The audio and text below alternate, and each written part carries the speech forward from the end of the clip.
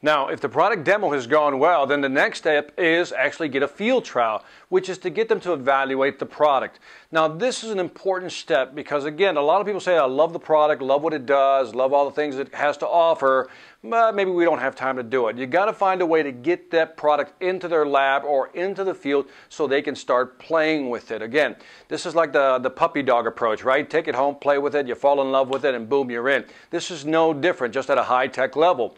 Now, when you're doing a field trial or a lab trial, it's important to set up up front what are the objectives? What are we measuring? What are the key performance indicators? What are the feature function sets that we're going to measure in the product? And then put together some sort of test plan. And a test plan is essentially an upfront agreement what we're going to test, what will be considered go, no go, pass, fail, like that we can have a report generated at the end of the test phase.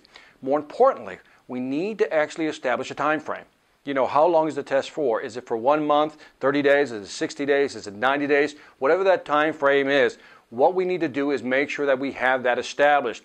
Because what happens is it creates a sense of urgency. If they say, we'll just get around to testing it eventually and they just stick it in their lab, well, guess what? If you sold enough products like I have, it'll sit on their lab uh, desk and it won't move unless we give them a time frame. So again, it's really important that you give them a time frame to make sure that it's done within a certain period of time. And make sure you get that commitment in the actual room, in the actual meeting when you're talking to the engineers and let their managers or network engineers actually hear this and say, okay, so we have a goal.